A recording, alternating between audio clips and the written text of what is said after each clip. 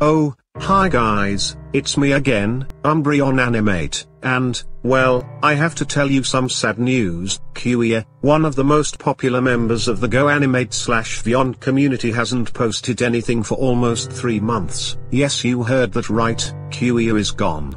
Now you're asking, why? Well, we don't know the reason why she hasn't posted anything for for months. What we know is that she posted on her community tab that she quits Vyond on April, but only Vyond, she also said that she still wants to do Caillou videos. However, even though she said that she will still do Caillou videos, she hasn't said anything for almost 3 months. And her Twitter account doesn't exist. According to Elias D, she hasn't even replied to him on Hangouts for a long time, here is proof.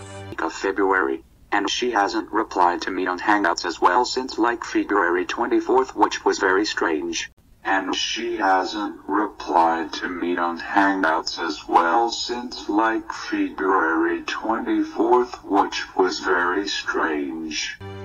Not only that, but, she even changed her profile picture into a sad face. I really miss Cewyah, her Caillou videos were funny, had original ideas and were entertaining. I hope that Cewyah comes back on YouTube, I really miss her.